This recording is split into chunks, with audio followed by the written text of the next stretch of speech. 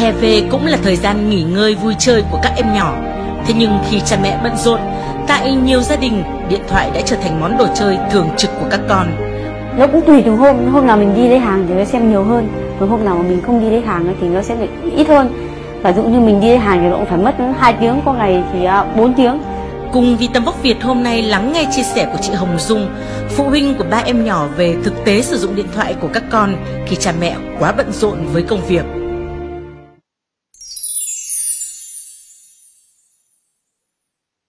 Tính giờ ở nhà nó nó toàn cái việc không tên không thể ngồi chơi với con cả ngày được. Thế nên là cứ lúc nào mà bận là cứ để cái điện thoại với cả cái ipad tivi ờ, cho con xem. Ở nhà mình thì một cái máy tính hai cái ipad, mấy cái điện thoại.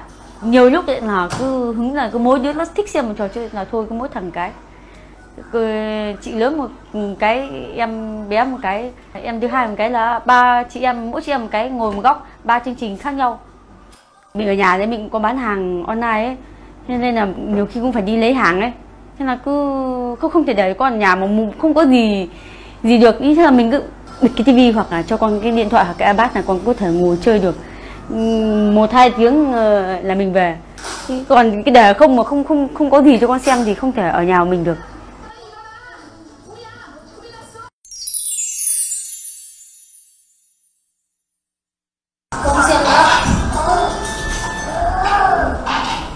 Không xem luôn. Hết giờ xem rồi. Dạ.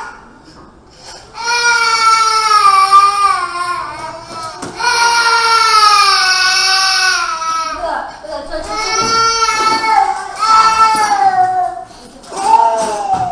nha, các thứ hai hầu như là bạn riêng mà bạn đang cầm điện thoại hoặc bạn cầm iPad hoặc xem tivi là mẹ nói gì khi không không không giả vờ không nghe thấy. Có khi là nghe thấy cũng giả vờ không nghe thấy. Nhưng mà bạn ấy chú tâm lắm, bạn ấy không không rời mắt tí nào luôn. Không không không liếc mắt sang cái lọ, không liếc mắt sang cái kia. Hoặc là nhiều khi nha, bạn ấy cho mình cho bạn ăn là bạn không ăn đâu. Nhưng mà cứ rút cho cái điện thoại cái là in ra à. một bát cũng đút hết. Hai bát cũng đút hết. Cứ há mồm ăn tì tì.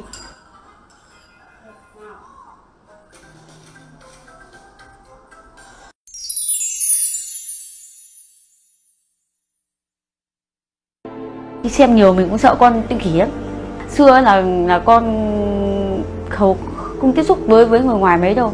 Nhưng mà dạo gần đây con còn hay nói chuyện đấy trước là con không nói chuyện mai đâu. Lo sợ thì biết là lo sợ thôi nhưng mà thực ra là bây giờ bận thì biết làm thế nào. Không không thể dành thời gian cả ngày với con được.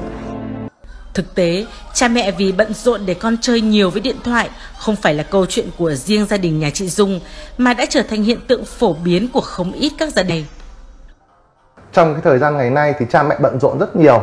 Và cái hiểu biết của cha mẹ về việc sử dụng công nghệ hay là tác hại của nó đối với con người cũng không phải là ai cũng nhận thức được, dẫn đến là cha mẹ cho con sử dụng cách tràn lan, không kiểm soát. Và cái điều này nó sẽ tạo ra cái cơ hội để cho các bạn trở nên lạm dụng và dẫn đến nghiện cái công nghệ mà cha mẹ cũng không cũng không biết được.